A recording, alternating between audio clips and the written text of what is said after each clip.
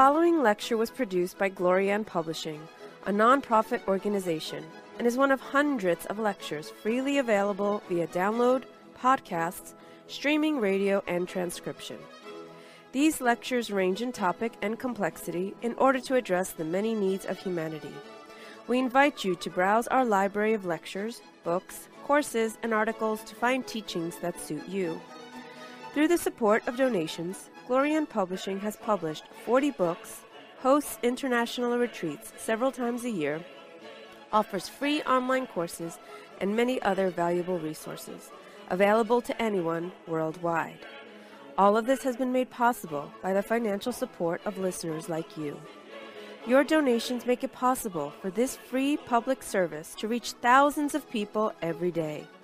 To make a tax deductible donation in any amount, even anonymously, visit GnosticTeachings.org. Now, with heartfelt wishes for the end of suffering for all creatures, we begin the lecture. May all beings be happy.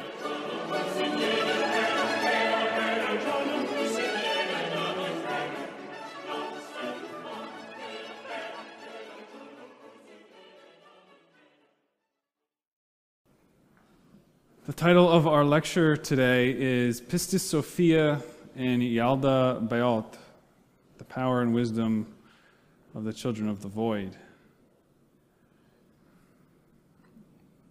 Pistis Sophia is a book written uh, many centuries ago that outlines the story and the um, path of somebody who is attempting to incarnate wisdom within themselves.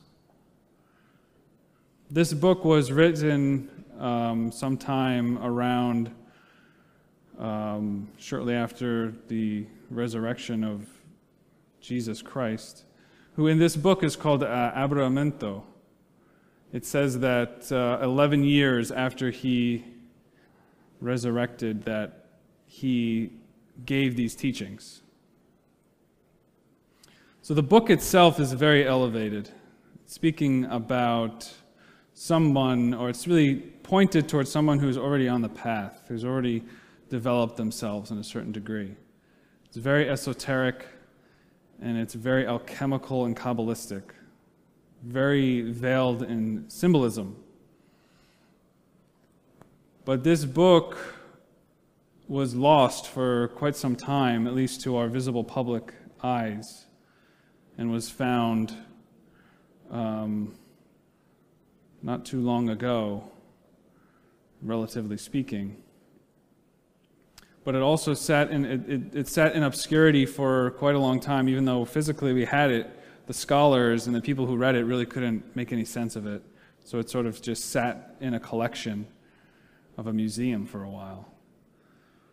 It wasn't until even more recently that uh, Samael Aun Weor read it and meditated on it and gave some explanations about it, which we can see coincides with this uh, universal doctrine of the science of how to awaken our consciousness and how to develop all the capacities of our soul, all the capacities of what it is to be a human being. So it's a very difficult book to read. But today we're going to look at it just from one small perspective, just one small part of it. Because a, a large portion of the book, it's really multiple books, but there's a portion of it called the story of Pistis Sophia. And Sophia goes through a drama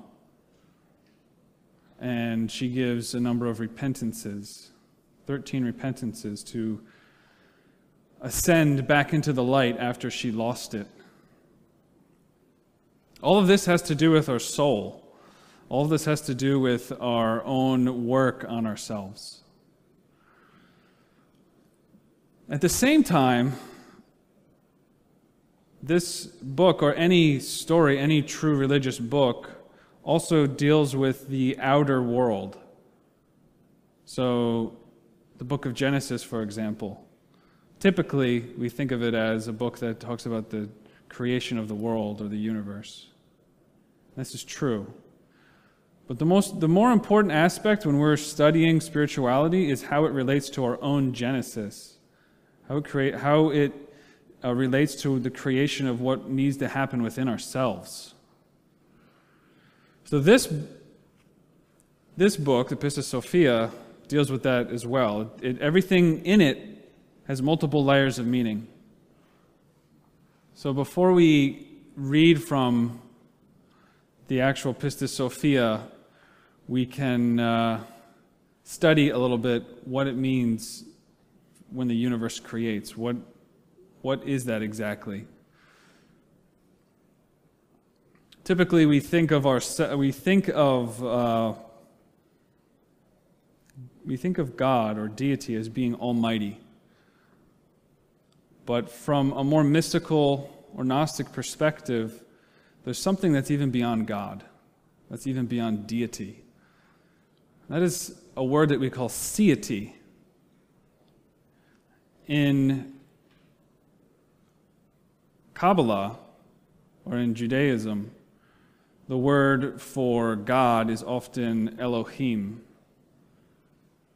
which really means gods and goddesses. But there's another word, which is A Elohim, which is an A in front of Elohim, which means not God or beyond God. It's negating what that God is.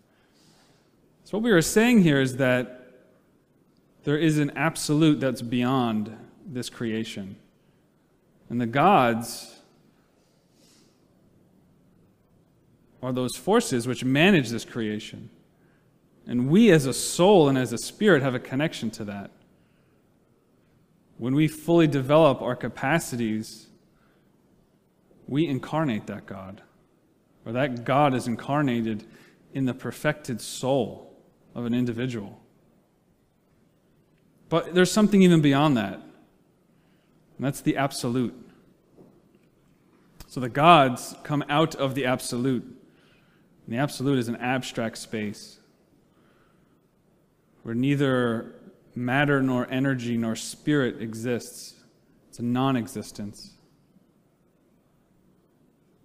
So Samael Aun Weor writes in his book Christ's Will This universe exists because of karma. Even the gods exist in this universe because of karma. When the causal logos initiated its electrical movement at the dawn of the Maha Manvantara, nothing was heard but weeping pleading, and lamentation of children. At the dawn of the Maha Manvantara, the gods wept. The causal logos contains in its divine mind all the karmic causes that originated the existence of this universe. Thus, when that great being began to move upon the face of the waters, there was nothing but the weeping and lamentation of gods. Little by little, the uncreated light of the Absolute began to withdraw from the gods. Thus, this is how they fell into this mass of universal shades. Hence, when the great logos that expresses itself as electricity and all that exists emanated from within itself, the logos of the solar system and the seven planetary genii, nothing was heard but bitter weeping. When the gods fertilizing the chaotic matter with the fire began to weave in the loom of God, nothing was heard but bitter weeping. The gods wept in their exit from the Absolute. They wept for the uncreated light that had already become darkness for them. And they justified themselves, saying, I am not guilty, I am innocent, etc. The gods fell when the Great Mother robbed their life, robbed their fire. Then the Great Mother shone with pleasure with the universal protogonos. So, in these lines here, these 14 lines, 11 lines, I'm sorry, in these 11 lines, an immense amount of information is being displayed here. karma is the predicate of this existence. Everything exists for a cause, because of a cause. And that's what karma is. Karma is not simply a gift or punishment of some sort. It may appear that way, and it may be symbolized in that way. But the reality of karma is cause and effect. So the universe came into existence out of a cause. Or we could say there were causes still within, latent within that absolute abstract space, which caused creation to emerge. In the same way that a seed, inside of a seed, can be all the potential and all of the factors needed for that seed to emerge out of the soil and create a beautiful plant or tree. Something similar to that, all of the causes of this universe were reduced to a, to a seed or to seeds. Each of us, we have a connection to a seed in the absolute. And from that seed, a divine or divinity emerges, and from that divinity, another type of unfoldment related to our soul emerges. There's absolute happiness within the abstract space. So, the very beginning of this existence causes, as Samael Aun Weor writes, the gods to weep because they have to go back into existence. The potentiality comes out during the Maha Manvantara, which means the great cosmic day. And the great cosmic day unfolds through enormous process. And eventually that day ends in the same way that a physical day here rises and the sun eventually sets and then the, the light goes away. There's a Maha Pralaya, which is the great cosmic night. And that's when everything gets reabsorbed into the absolute. But that Maha Pralaya suspends the karma of the universe in order to bring everything back. But that, that, that pralaya or Maha Pralaya only, only occurs for a certain period or a certain space, and then all that karma has to come back into activity. And we see in nature this uh, unfolds in all the different levels of our of ourself, in the day, and the fact that we go to sleep, we sleep, and then we arise in the next day with more or less the same mind and the same emotions that we had yesterday. But we know when we sleep, normally we're unconscious. In this state of the world. When we fall asleep, our mind is unconscious and we dream, and we may not even remember the dream. But that is our consciousness going through a little mini pralaya. If you awaken your consciousness, you can be awake while your physical body sleeps. And you could, you could see into that night. You would see the light of our own consciousness, which, is, which exists when we fall asleep we don't experience it because we're unconscious. Something similar is occurring on the cosmic scale of the gods. Much, much higher level, though. There is a certain type of god or deity we call Paramartha Satya that could choose not to go into this existence because they have perfect consciousness.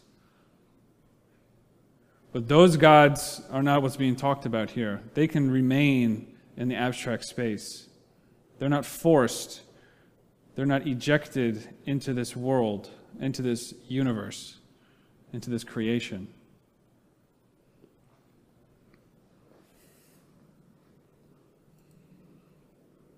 We often talk about the three aspects of the absolute. These are very abstract concepts.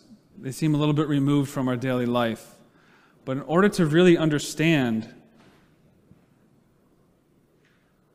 the, the, the, the essential content, we, we need to be able to have some grasp of what the absolute is. So the absolute is beyond creation. The absolute has three aspects. The most incomprehensible aspect is called the ayin. In the Pistis Sophia, it's called the 13th aeon. That is the most abstract, absolute space. Totally incomprehensible to our mind. But the next aspect is the Ein Sof. In that level, as it's written here, a certain type of manifestation exists. But even that's a poor way of writing, a poor way of understanding it. It's just for our intellect to understand it. The Ein Sof, this second aspect, is this atomic principle, almost like that seed I was talking about, where our entire existence could be reduced to just the Ein Sof, our own particular Ein Sof, because we come from the Absolute and the final synthesis. The Ein Sof is the second aspect of the Absolute. It is where a certain manifestation already exists. A divine ray exists within the human being. That ray wants to return back to its own star that has always smiled upon it. The star that guides our interior is a super divine atom from the abstract absolute space. The Kabbalistic name of that atom is the sacred Ein Sof. So we can think in the sense that we come from the Ein Sof and we will return to the Ein Sof. The third aspect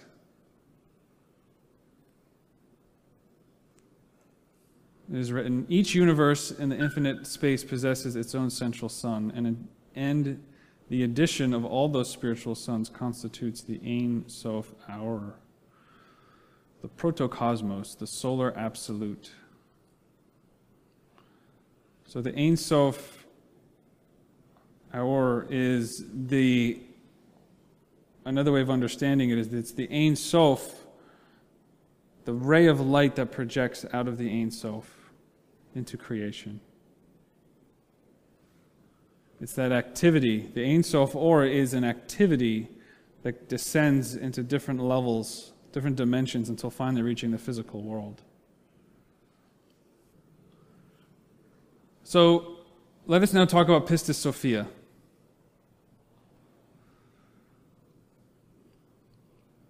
Normally, the word pistis is associated with our mind, with a certain level of consciousness of our mind. But in this context, pistis is not really mind. It's better understood as power. And Sophia means wisdom. So, as a compound word, it signifies power, wisdom. So, in the Pistis Sophia, she is the central character, the central person or symbol that's undergoing many different dramas. The Pistis Sophia emerges from the Absolute, from the 13th aeon, which is the Ayin.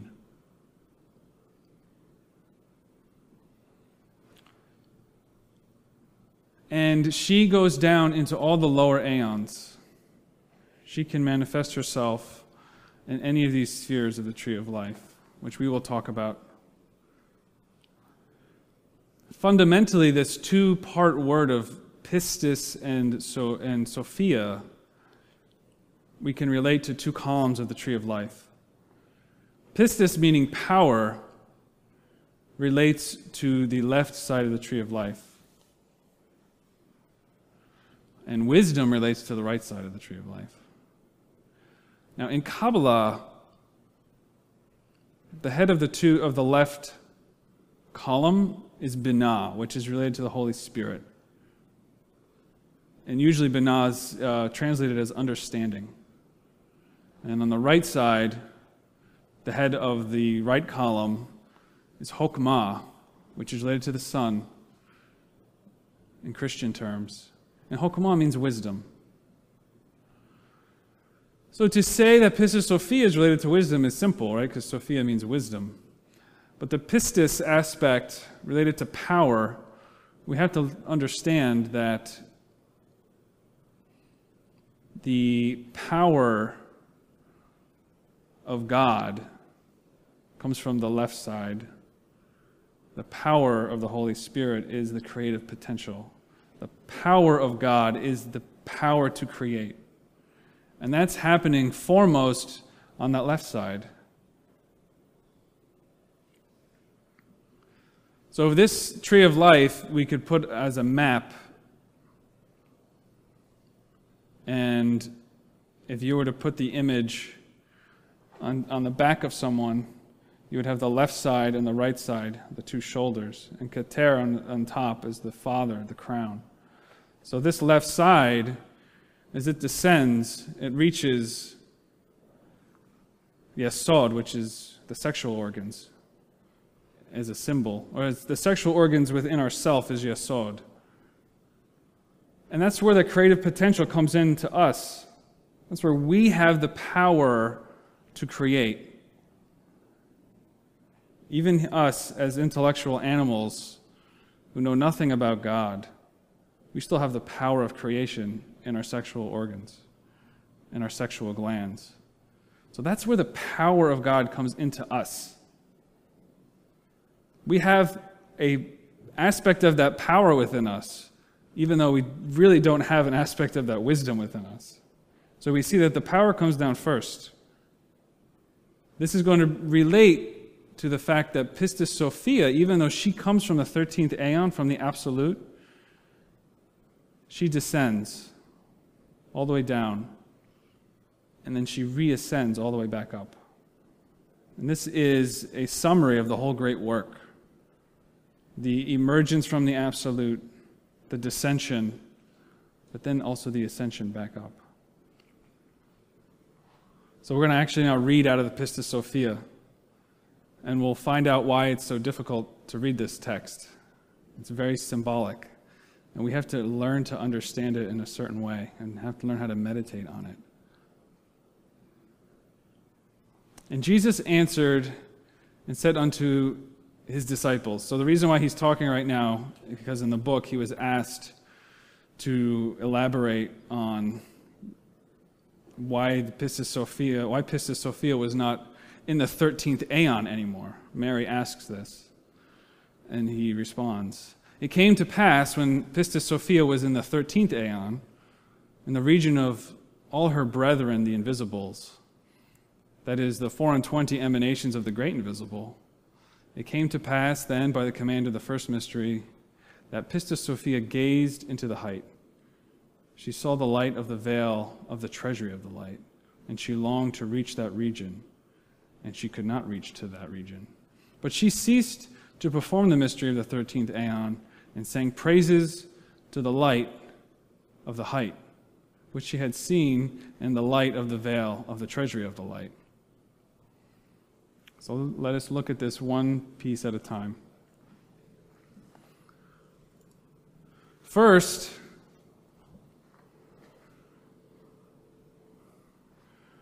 we can understand the 13 aeons related to the Kabbalistic tree of life, which I have here on this slide. There are 10 Sephiroth in the tree of life, and there are three aspects of the Absolute.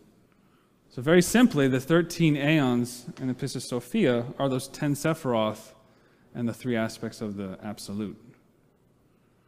Now, we talk at length about the tree of life in previous lectures. But we're going to just give a basic map here, a basic understanding of what the 13th aeons are.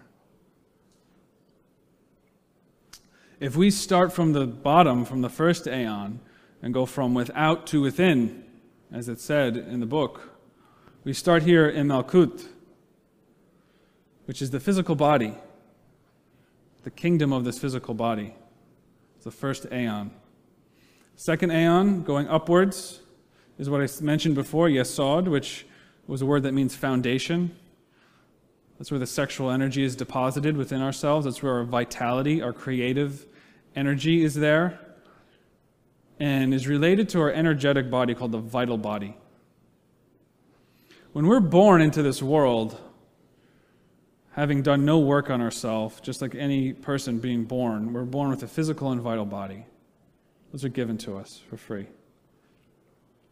The third aeon is Hod, which is related to the astral body, the center of emotions. We have something related to an astral body, but unless you actually perform a work within yourselves, you don't have the legitimate astral body. That's something you have to create. You have to be born again into that body.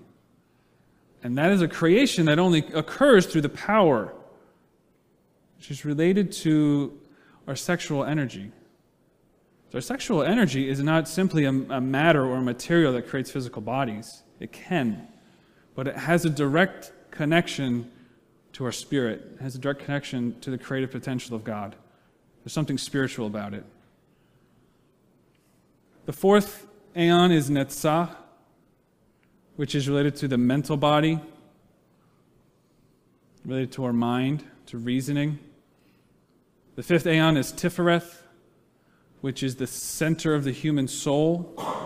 A lot of the drama of the work occurs here, because you can see Tifereth is in the middle column, and it's also in the middle of the tree of life.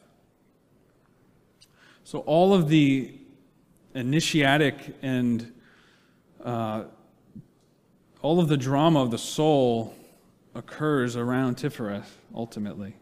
You think of Tifereth as the center of a clock, and all the hours, all the initiatic hours and days are going around Tifereth because Tifereth is in the center. As the fifth aeon. The sixth aeon is Geburah, which is related to what we call the Buddhic body or the spiritual soul. Tifereth is the human soul. Geburah is the spiritual soul. The human soul, we say, is masculine. The spiritual soul is feminine. And the seventh aeon is Hesed, which is related to our inner spirit.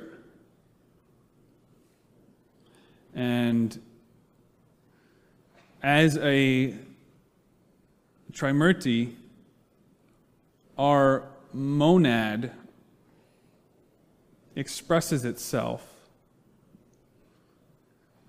firstly in, these, in this way the spirit, the spiritual soul, and the human soul.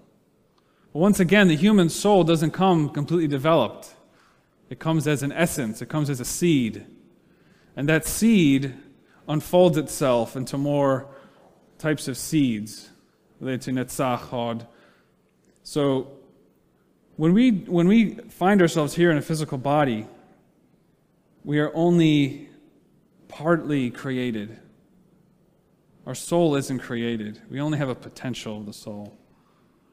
We have an essence, we have a consciousness, we have an, we could say, an elemental level of a soul, but it's not a, it's not a real human soul.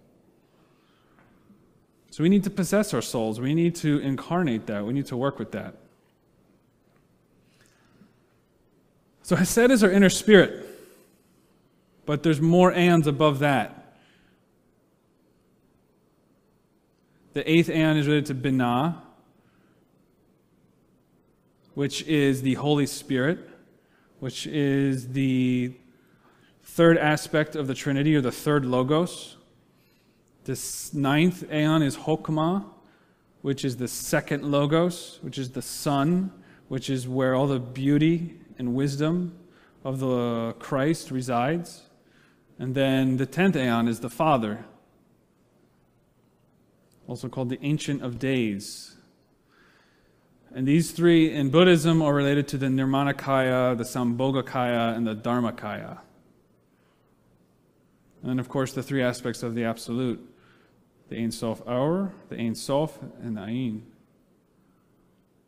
So when we talk about the Ein Sof Aur coming, being that projection, that is this arrow descending down. So that Ein Sof Or goes through transformation, transformation, and more transformations as it's going down. But that Ein Sof Or is where that ray of light is coming out and unfolding into all of the cosmos outside of ourselves, but also the cosmos inside of ourselves. So, unless we know this, there's no way we're going to understand what the 13th aeon is. When it came to pass when Pistis Sophia was in the 13th aeon, what does that mean? Well, we know that it means that the Pistis Sophia was in the absolute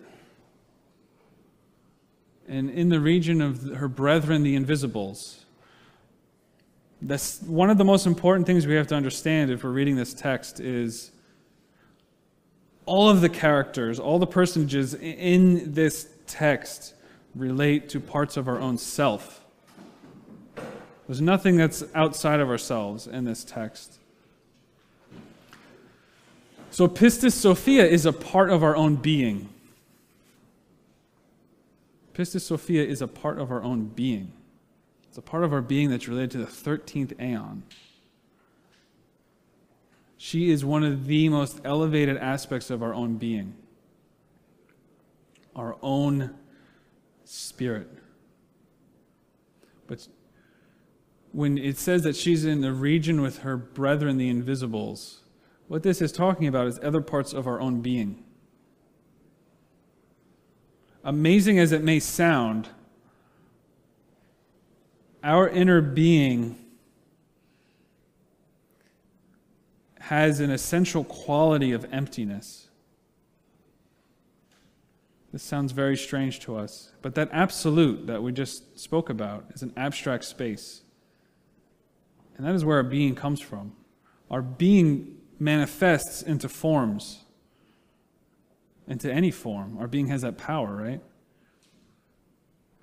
If the being has the capacity to manifest into any form, it must be beyond form. It is empty of form. No form contains it.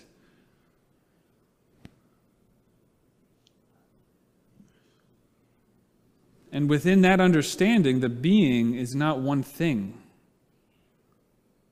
It is a it is an activity that we need to understand as being a multitude of many things relating to itself. When the, when the great work is completed, our being knows itself completely. Being, the being contains 100% self cognizance, self knowledge of its own self.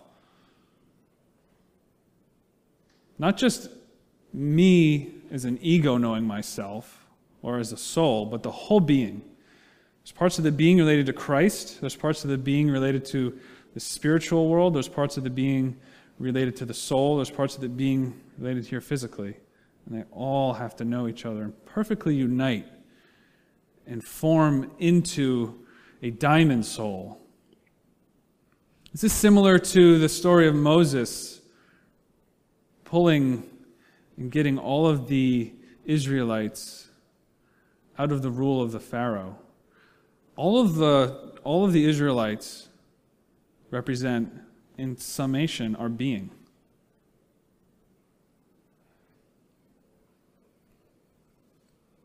It's a very profound thing to reflect on. It's very difficult, but that's, that's the reality.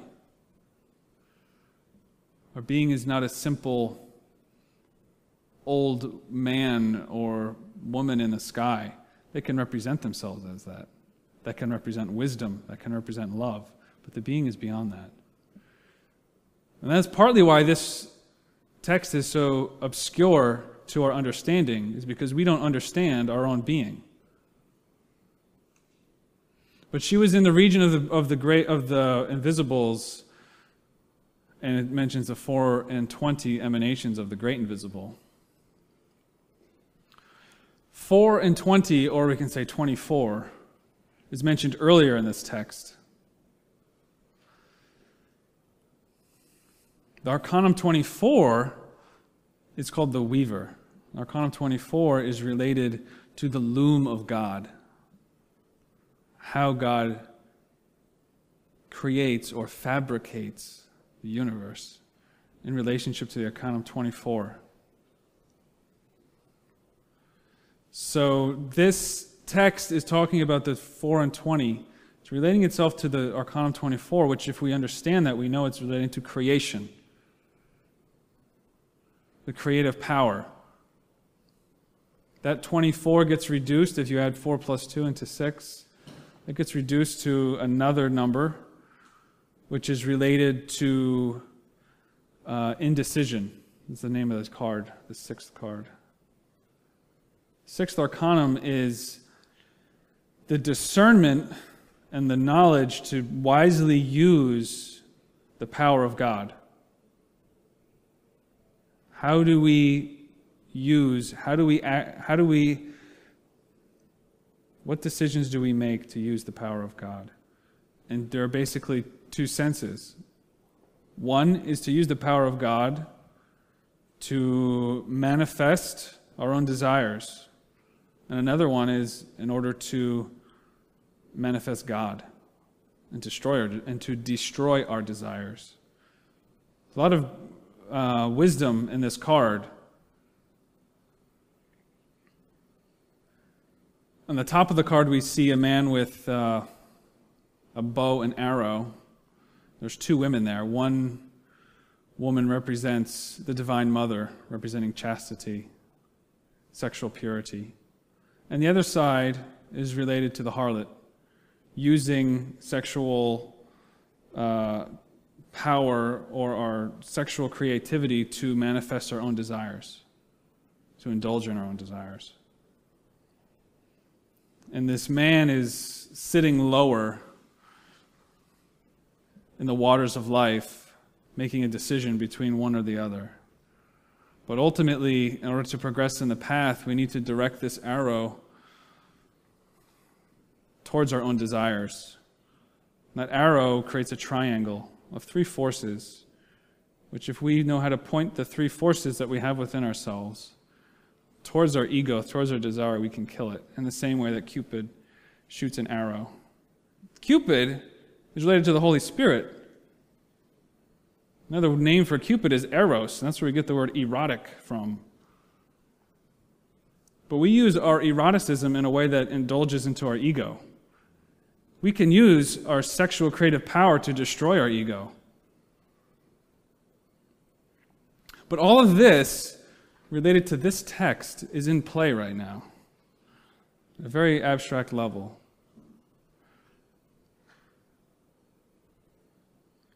The other number mentioned here is the number 13, which we said is the 13th aeon. And the number 13 is the number of death. Right? The number 13 is a very unlucky number. People don't like the number 13 because it is, it's related to death, it's the number of death. But it is only through supreme death that something new is born.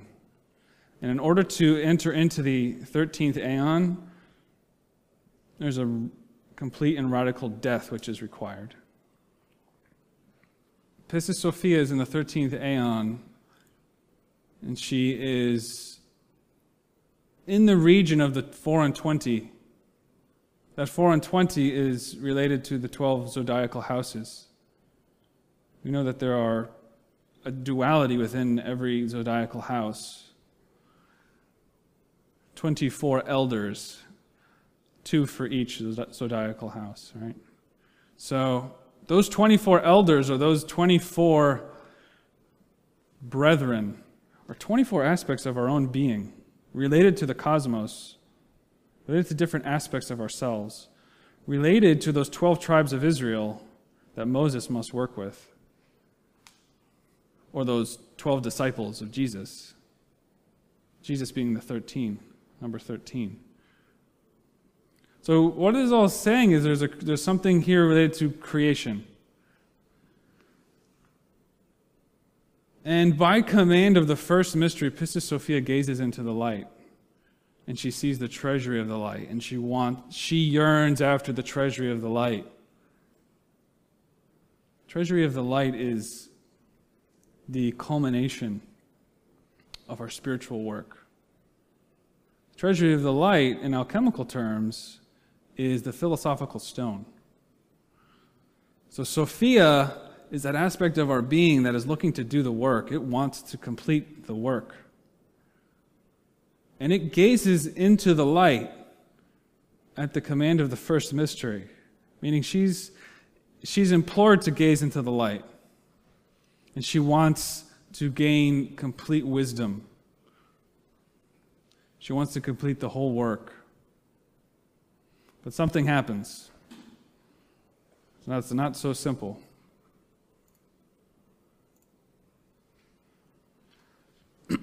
it came to pass then, when she sang praises to the region of the height, that all the rulers in the twelve aeons who are below hated her, because she had ceased from their mysteries, and because she had desired to go into the height and be above them all. For this cause, then, they were enraged against her and hated her, as did the great triple powered, self willed, that is, the third triple power, who is in the thirteenth aeon, he who had become disobedient, inasmuch as he had not emanated the whole purification of his power in him, and he had not given the purification of his light at the time when the rulers gave their purification, and that he desired to rule over the whole 13th aeon and those who are below it. Pistis Sophia talks about three triple light powers.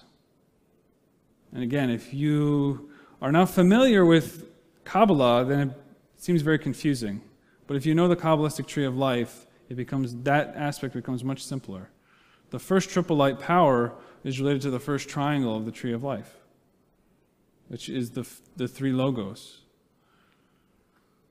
which is the Christic principle, the aspect that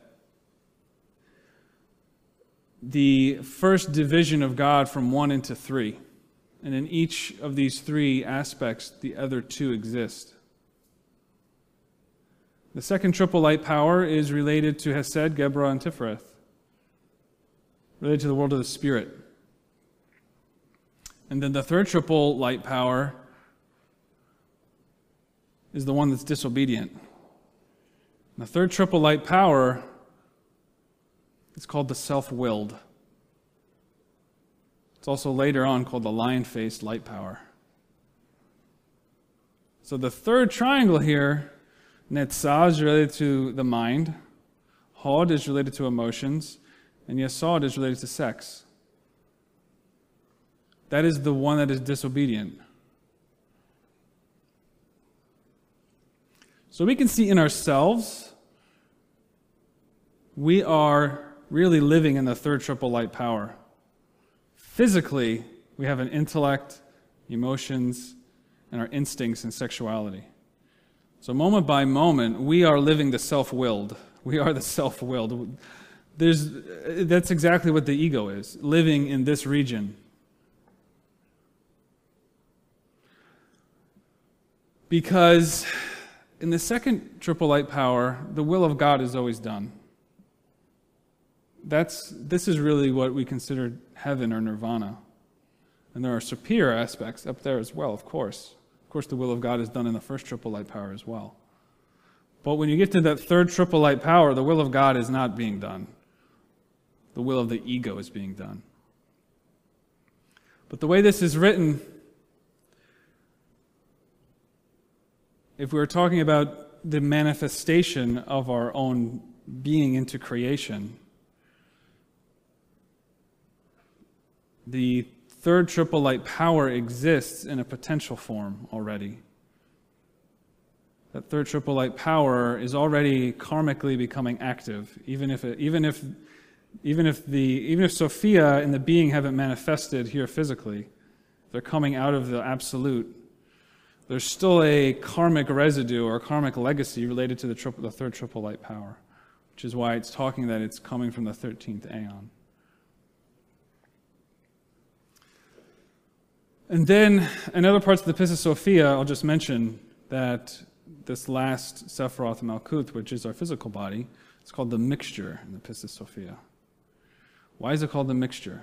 Because here, this physical body is the final crucible of all of this energy, of all of these different manifestations come into the physical body. And it's inside the physical body, it's with the physical body that we need to do the work. All the elements come together for the crossing and for the, the necessary crossing of those elements inside the physical body.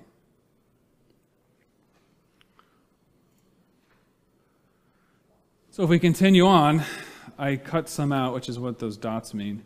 The great triple powered, self willed, emanated out of himself a great lion faced power, and out of his matter in him he emanated a host of other very violent material emanations and sent them into the regions below, to the parts of the chaos, in order that they may that they might lie that there that in order that they might there lie in wait for Pistis Sophia and take away her power out of her. So we have a very uh, beautiful illustration here from William Blake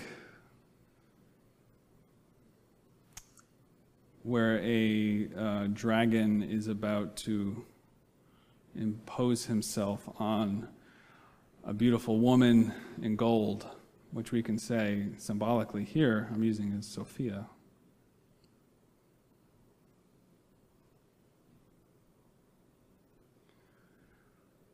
So Sophia begins this, Sophia is impelled to look into the light. And she wishes to do the work. So she goes into the light and believes she's going towards the treasury of the light, but instead, she ends up going towards the triple power self willed, the light of the triple power self willed.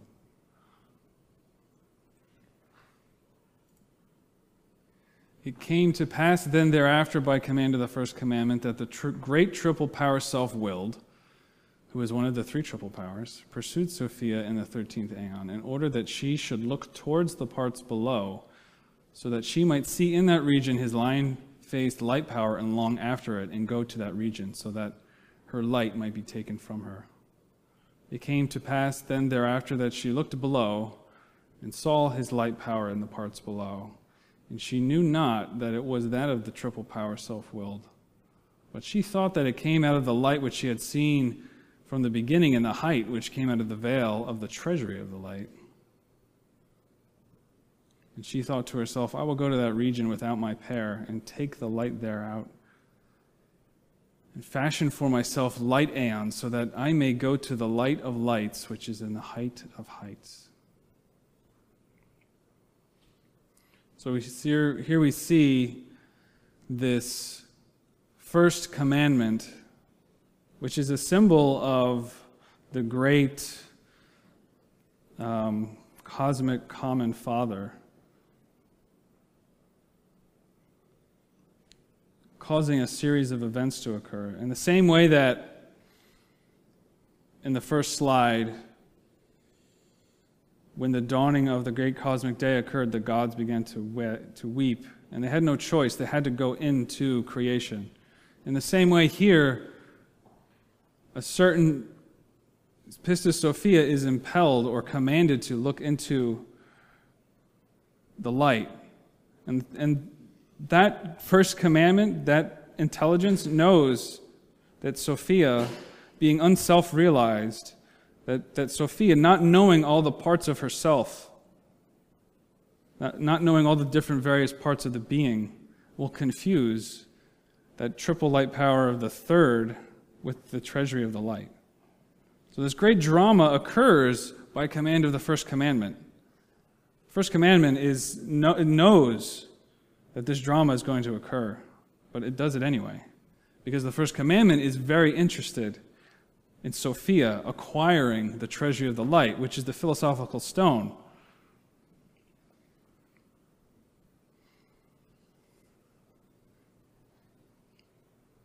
So we can see here there's a, there's a great symbol or a great parallel of Lucifer falling from grace or the disobedient angels. It's the very same myth, but shown from a different perspective. If you read or listen to a, previ- a previous lecture called The Secret of Satan, you may understand this a little bit more. Let's, let's just, we'll complete the story and then we'll talk about it. This then thinking, she went forth from her own region. The 13th aeon went down into the 12 aeons. The rulers of the aeons pursued her and were enraged against her because she had thought of grandeur. And she went forth also from the twelve aeons and came into the region of the chaos and drew nigh to that lion faced light power to devour it. But all the material emanations of self willed surrounded her. And the great lion faced light power devoured all the light powers in Sophia and cleaned out her light and devoured it, and her matter was thrust into the chaos. It became a lion faced ruler in the chaos, of which one half is fire and the other is darkness. That is Yaldabaoth, of whom I have spoken unto you many times. When then this befell, Sophia became very greatly exhausted and that lion faced light power set to work to take away from Sophia all her light powers and all the material powers of self willed surrounded Sophia at the same time and pressed her sore.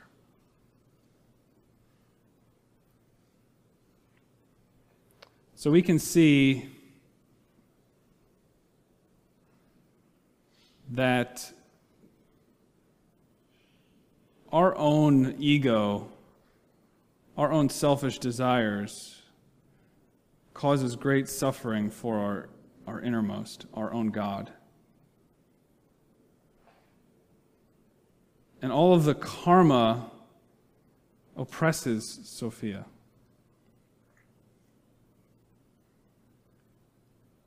But one thing is for power of Sophia to descend.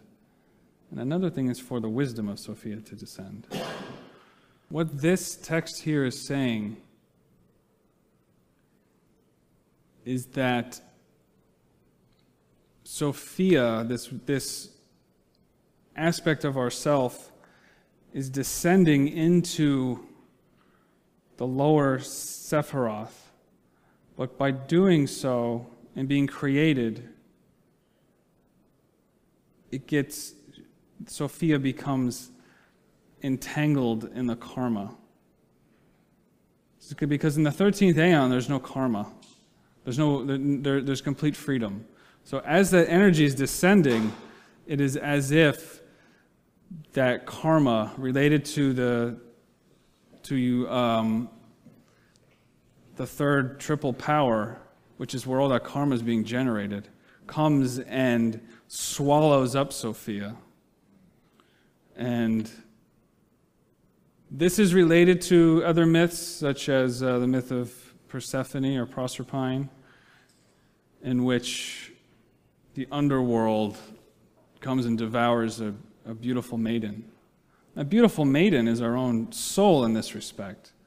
Sophia has many different aspects and ways of looking at it, but when our divine essence and our divinity is coming down into us, it immediately gets devoured by our karma and by our ego. And what comes out of it is Yaldabaoth. One half which is fire and the other which is darkness. We can say that's our ego. There's some light within ourselves, and there's some power, which is that fire, but the other half is darkness. It's been placed into darkness. but to better understand how the Ein Sof Aur descends, which is that, that ray of creation coming down, you have to understand what the Pistis Sophia calls the, the spaces, which in Kabbalah are called the four worlds. Four worlds are Atziluth, Bria, Yetzirah, and Asiya.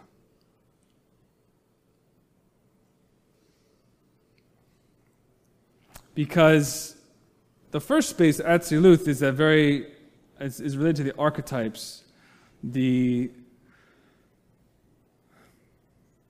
the, the blueprints or the primordial, primordial aspects or molds of what the being can express itself as. And that's Atziluth. The archetypes or potentials. So that's related to the absolute. And it's also related to the top triangle Bria is the very activity of that creation.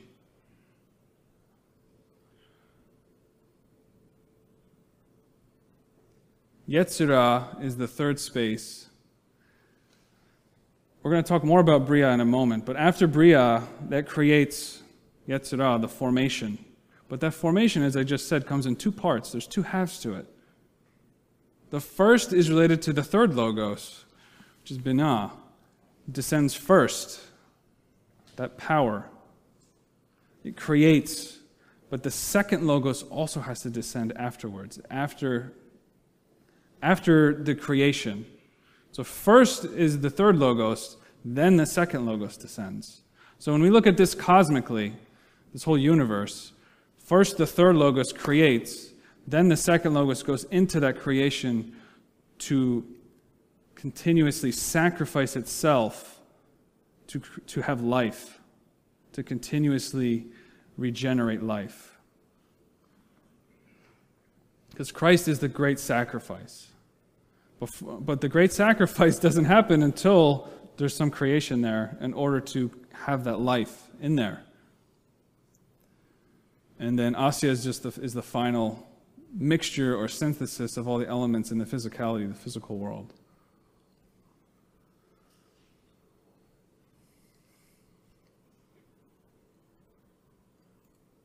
When Sophia is in those higher aeons, in the region of the 24 brethren of the great invisible. And she looks down and sees the light of the third triple light power. And she mistakes that light for the treasury of the light. What is, being, what is happening here is happening in Bria which is the world of creation. In Bria, nothing is actually created yet, it's, it's happening, it's the activity of creation. How Bria works related to the Trinity.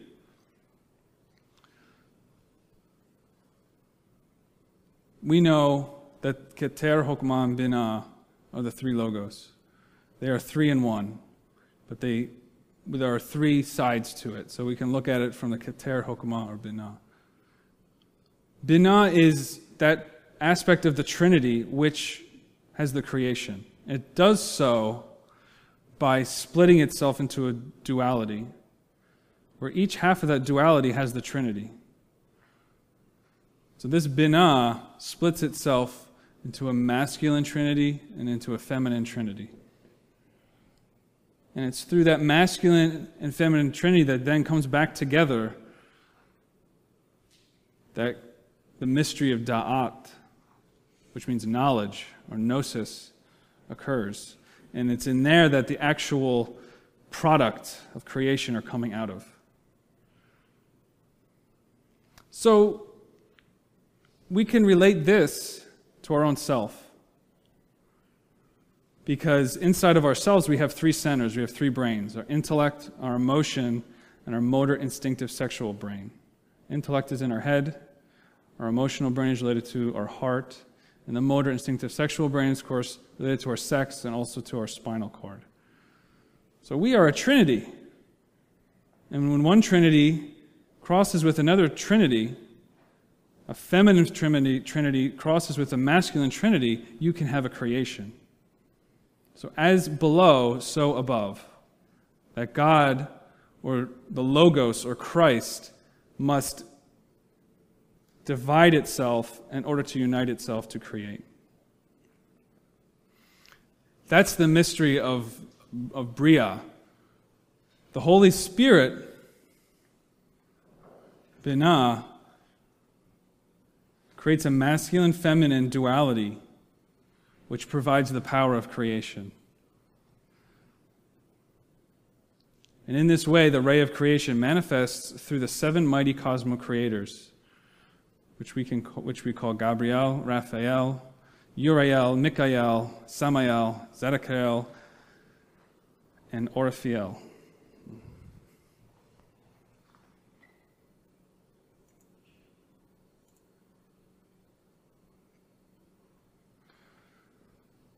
Okay, so what does that mean?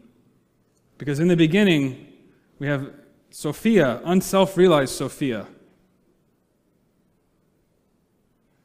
A type of monad or Ein Sof that does not know itself.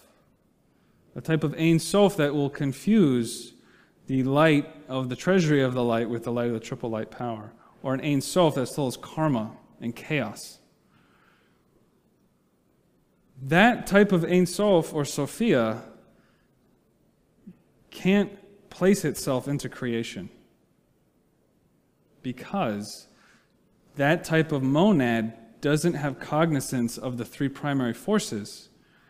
It doesn't have consciousness within the third triangle, within the Christic logoic triangle, because that's the triangle that can create something. That's the triangle that can create the universe.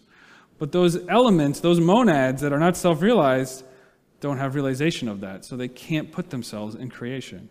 They need a helper, they need a cosmo creator. A cosmo creator is another monad, but this type of monad has self cognizance. This type of monad has incarnated Christ. They have perfected the power and wisdom. They have achieved the golden fleece of Hercules or the treasury of the light or the philosophical stone. They have achieved it. Therefore, they can work to place other monads into creation. So, those seven mighty cosmic creators what we call the seven rays. And all of us, all of us as a monad belong to one of those rays. Because our individual monad, unless it's self-realized, can't put itself in, into creation. And, but the cosmic creators do it. Those cosmos creators are conscious within the upper cosmos. They're conscious within the world of Bria and Atziluth. So they can work with that energy to place the monads into creation. So, all of us belong to one of those seven rays, and we can see that that, that is how the ray of Christ goes from a trinity to a sevenfold in Atziluth, because the creation happens according to the law of three, which we can see. But that creation then gets organized according to the law of seven, which are the seven mighty cosmic creators. Now, the outcome, here we say Daath or gnosis.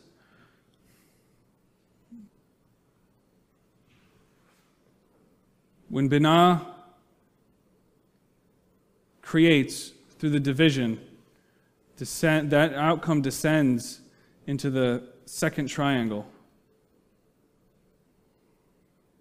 Now, when that creation is complete, that is uh, Horus or Horus, the human soul, but the, the spiritual soul. But in the beginning, what it creates is our, our soul, which then unfolds. First, as the spirit then the spiritual soul, then the human soul, then the mind, emotions, sex, and the physical body. And the great work, the first thing we have to do after we, we receive a physical body, and we have a vital body, we have to create the astral body, the mental body, and the causal body. We think we're already completed. We think we're already a complete soul, but we're not. We're Yaldabaoth. We're one half fire and the other half darkness. We haven't even completed that work yet. We're here as ego, some mixture in the physical body. We have some percentage of free consciousness, but mostly we're ego. And beyond, beyond the ego is just chaos. Because our inner matter is undifferentiated, our inner matter is not developed. We are like an egg that has not been boiled yet. We have a thin layer called our personality in our physical body. But if that layer cracks open, what's in, what's in there, in that egg? Chaotic material that could become something, but if you crack that egg open, it's, it's a mess. That's why when we go out of our physical body, we can't have consciousness. We can't seem to have those experiences or we have to work very hard to have them. That is why we don't remember when we're outside of our physical body, because that hard shell is gone, and all that is in our being at that level is chaos and darkness and fire, which is sexual potency, but most particularly um, desires and lust. That's what's inside of our psyche. That's Yaldabaoth, which is causing Sophia, our divine essence, our divine principle, to suffer. She's in bondage. She's enslaved. When we said in the beginning that pistis sophia is a compound word, first the power descends, then the wisdom descends. Right now, the power has descended. We have the Holy Spirit. We have the power of the Holy Spirit. That's how we get into lots of trouble, though, is through that power. How we use our creative potential. We use it correctly, then we finish our creation. We actually complete the soul. And then, if we complete the soul, then wisdom can descend into it. We think that Christ could descend into any ordinary person, but really, Christ can only descend into the, the fully developed man or woman. That is the second logos.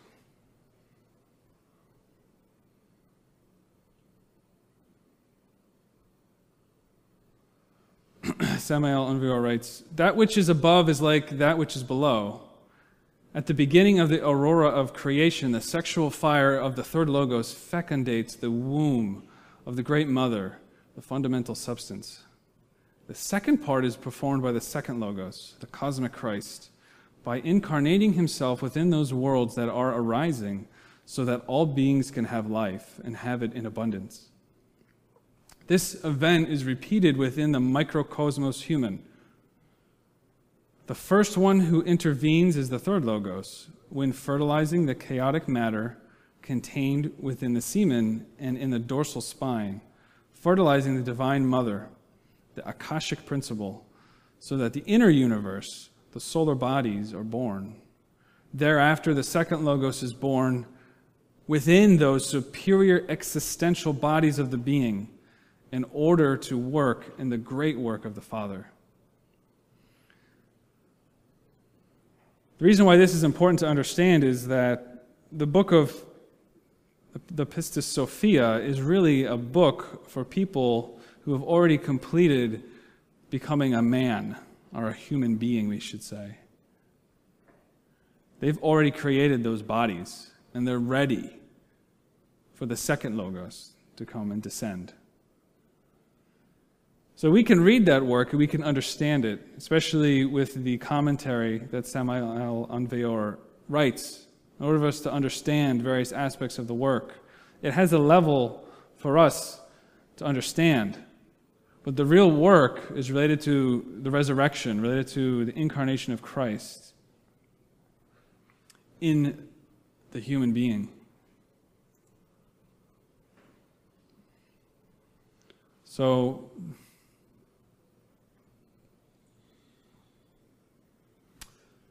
in the dawn of each Mahamanvantara, the Great Mother, the universal feminine principle, steals the fire from the gods in order to fertilize herself and to shine with pleasure. This is the universal protogonos. This is the tragedy of the gods. This is what the logoic downfall is. The gods can be liberated only when their virginal sparks are liberated. So our essence is that virginal spark. And although we often think that God is omnipotent and omniscient and free, there are different levels of that. Because ultimately we are connected with God. And if we are in karma and if we are suffering, then a part of God is suffering. So when we liberate ourselves, then we can incarnate Christ as well. In the Pistis Sophia unveiled, it's written, the divine ray and the chaos Pistis Sophia and the great abyss shine with pleasure when united. Thus, the chaos delectably sparkles when obtaining its meaning from this union with the Spirit. When Sophia, as divine spirit, is associated with the chaos, then the protogonos, the primogenial, the primogenial light emerges. The logoic ray impregnated by Sophia fecundates the waters of life in order for the universe to emerge. So when Samael Aun Weor writes his commentary, he writes it in a way that's very beautiful. Within the text of the Pistis Sophia itself, it appears very violent. We have to understand that both of those ways of presenting it are the same. It's just a matter of how we want to look at it, from what perspective. Because from the higher parts of the being, the ejection from the absolute abstract space into creation is a very, uh, very difficult thing. And all the parts of the being start antagonizing each other. Different parts of the being don't understand each other. And through that antagonism, the drama occurs. And Sophia needs to work with all those different parts. And all those different parts don't want to give up their own material. In other words, they don't want to give up their own chaos. They don't want to give up their own sense of identity. But as they do, as Sophia works in all those different aspects, the being is being united.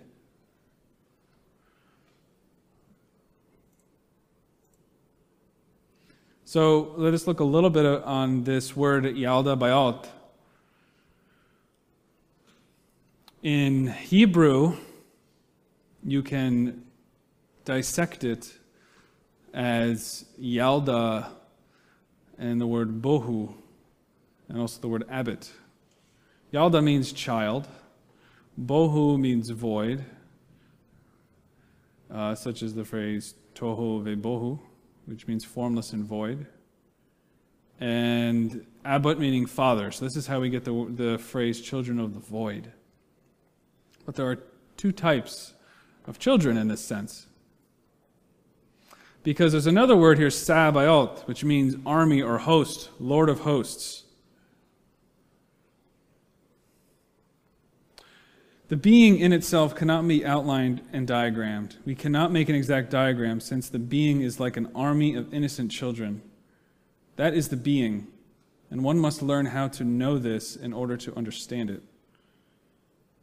So the being is related to this word Sabaoth, which is an army. Usually think of an army of God as all these millions of angels, but those millions of angels exist within us as angelic intelligence different aspects of our own being. But the other type of children of the void is that chaotic material that is our ego. Yaldabaoth is a mixture of that power of Sophia mixing with our ego and producing all these offspring, which is one half fire and one half darkness. That's animating our chaotic material. So Yaldabaoth is both the good and the evil. Yaldabaoth is related to the architect demiurge of the universe. Because this universe is ruled by karma, and karma lands on either the side of good or evil. So Yaldabaoth is all of the good and is all of the evil as well.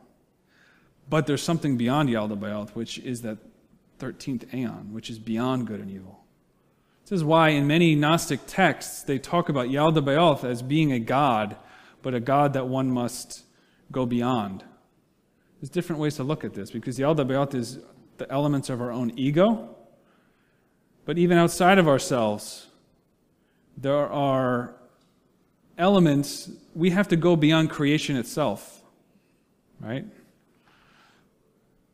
even those cosmo creators, those cosmo creators are working in the work of the Father to go beyond creation.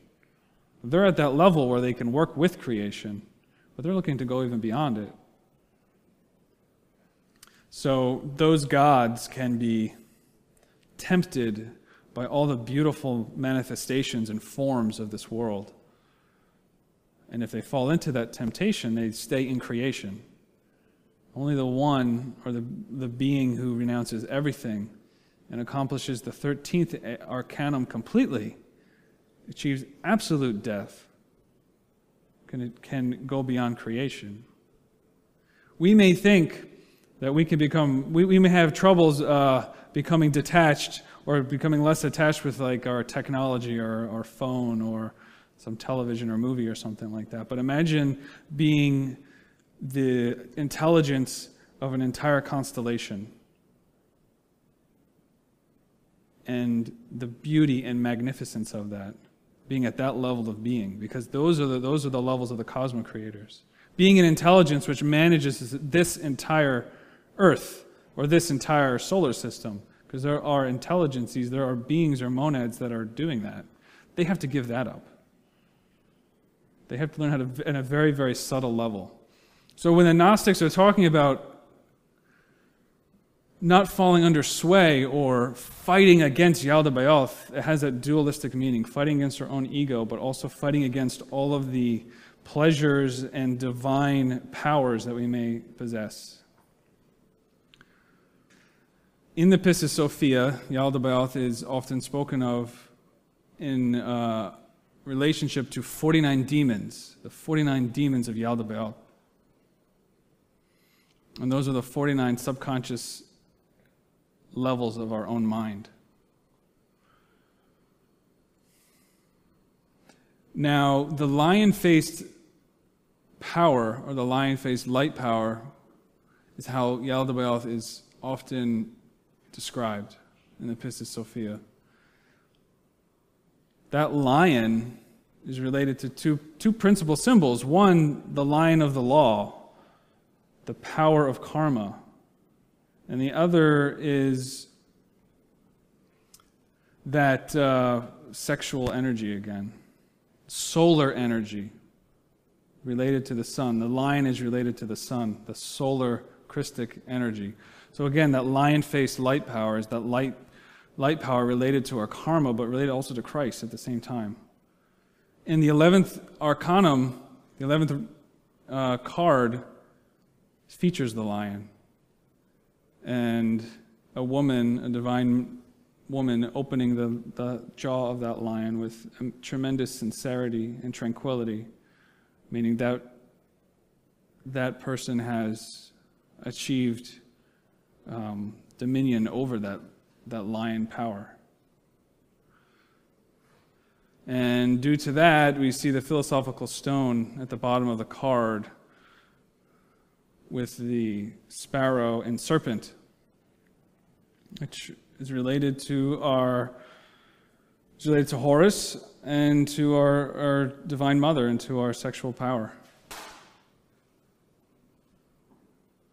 So Yaldabaoth is working within us right now, and we, we feel that power anytime we become identified with something, anytime we have a passionate type of energy, an egotistical type of urge. That is the very lion faced light power working within us.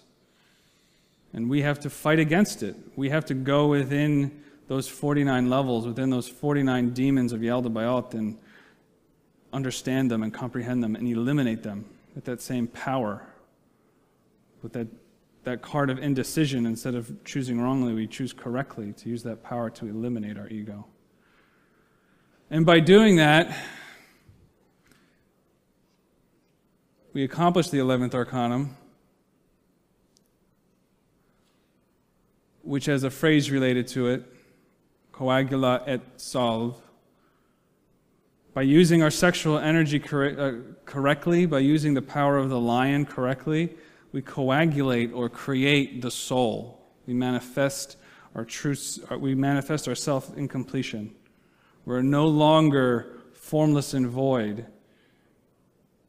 And then we, uh, the second half occurs with the dissension of Christ and the complete dissolution of the ego.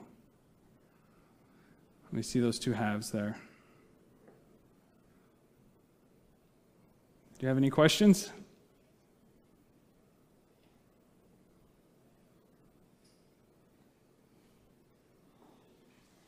So there is karma in the 13th aeon, or there is, because at first you said the whole reason why everything is created is because of karma present. And then you said there's no karma because it's absolutely Right.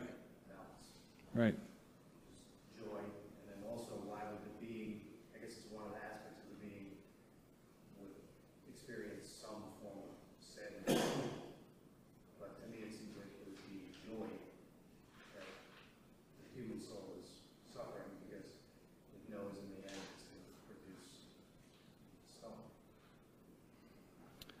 So is there more than one question? Yeah, like, why is it sadness and not joy? I guess I'm assuming the answer is because it's a multiple aspect of being. And the other one is, is there a karma, I mean, yeah, is there a karma in the thirteenth aeon or not? Okay, so there is there is no karma inactivity in the 13th aeon, but there is the seeds or, or the legacy of karma that's not being played out, which is the exact reason why the 13th aeon spits, spits out all of those elements which still have those karmic residue. Or, or, and, that, and those seeds of karma then begin to unfold. So the seeds of karma exist before um, the triple light phase power? Well, in our case, when Sophia is looking into what she thinks is the height, but is, she's looking into the Akashic waters of Bria, seeing what she is seeing the potential of the completion of the work, the treasury of the light. But it's actually the triple light power, right? But where is the treasury of the light to be found? Inside the work. And also the height of heights, it says, which would be the thirteenth. Right. So she sees the height of heights because she's on, this is unself-realized Sophia. She sees the height of heights inside the potentiality in that moment. That's the way it's it's it's uh, symbolized. The other way to look at it is that Sophia is unself-realized, so she doesn't have that completion of wisdom to know the difference. But the, but another way of looking at it is you're looking into the Akashic waters, the potential of creation. Inside that creation, I can get the treasury of the light. Right. See, even though like, I, I'm going to get that, but once I once I go into that, well, the ego, all the all the karma and chaos occurs. But that what, that's what needs to happen in order, in order to complete the work. You can't complete the work without the dissension. So it's things are symbolized in a certain way in the Pistis Sophia that are hard for our intellect to understand. But it's written in a dramatic form. And the triple light is another aspect of our being, Right. And I mean, there's a triple light power in Bria. Well, that's Well, the one that's originally in thirteenth aeon, right. that's part of the superior part of being, beyond, what's it, it said it's beyond it. Right. I mean, ultimately, all parts of ourselves have a relationship to the 13th aeon, even the third triple light power, even our karma. So, in that, in that aspect, it, sounds, it, it, it, it confuses our intellect. But we have to look at that before the creation occurs, before Yaldabaoth actually emerges, that third triple light power is just abstract potentiality of, the, of, of Yaldabaoth that hasn't actually occurred yet. So we talked about the uh, Malkut being the world of suffering, and uh, the Bhavachakra, and that uh, and Nirvana being the cessation of suffering. And on that, on the first slide, you talked about coming out of that being so bored that the you know the gods were weeping and. Uh,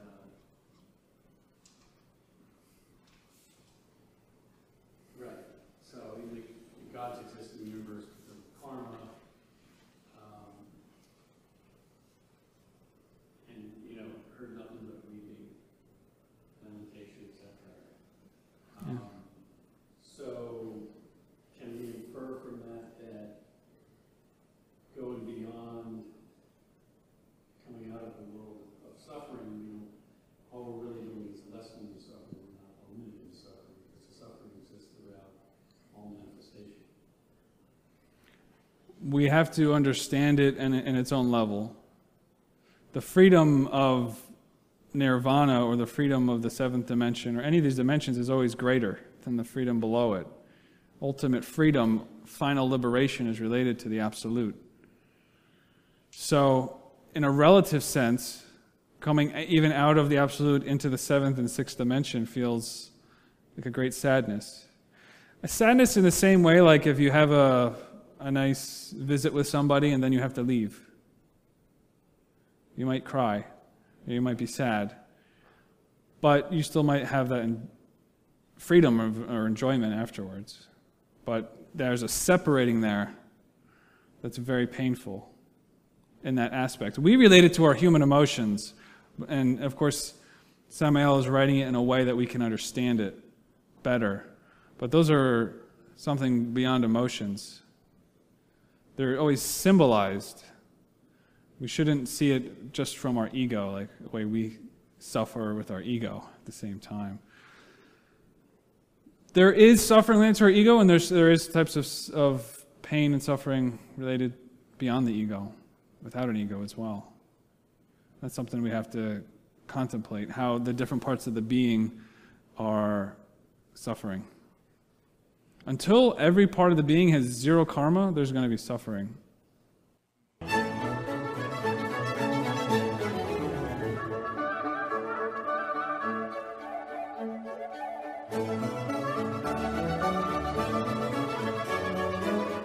To learn more about what you learned in this lecture, we invite you to explore the books published by Glorian Publishing, available from booksellers worldwide.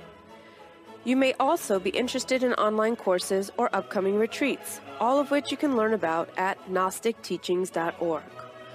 All of this has been made possible by the financial support of listeners like you. Will you help others to benefit from this knowledge? Most spiritual schools recommend a donation of 10 to $20 per lecture. Every donation helps. Make a donation now at GnosticTeachings.org. Thank you. May all beings be happy. Yeah,